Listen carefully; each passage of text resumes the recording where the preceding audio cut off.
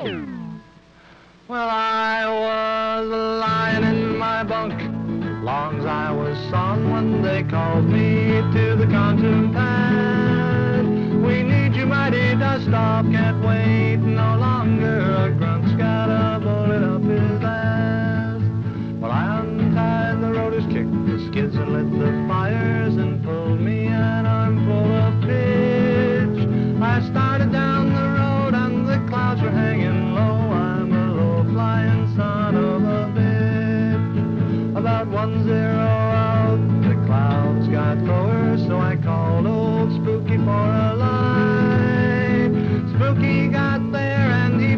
That mighty flare. I've got that LZ inside.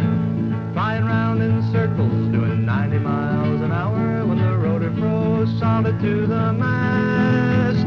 They found me in the wreck with a cyclic around my neck and the tail rotor beating on my ass. All you fixed wing pilots, take a lesson from old Dust Off if you want to buy the farm first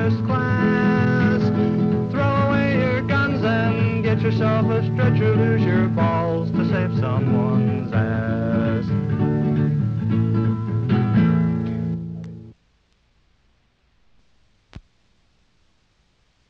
But that was a song about, uh, it's called the Dust Off Song.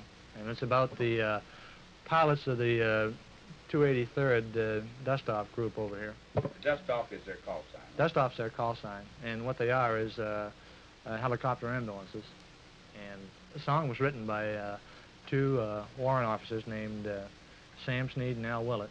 They were just sitting around one night with nothing to do and down in the club. And old Sam, he plays a pretty good uh, country and western guitar. And he and Al uh, just made it up.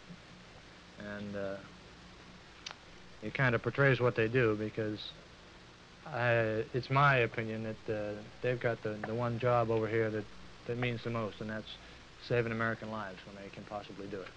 And they fly low, and they're not instrument-rated pilots. They come out of the Army Flight School, VFR pilots only. And I took one of them up, Al Willett, I took up in my O2. And I think that guy flew it as well low level as I did. I mean, we were flying at low level.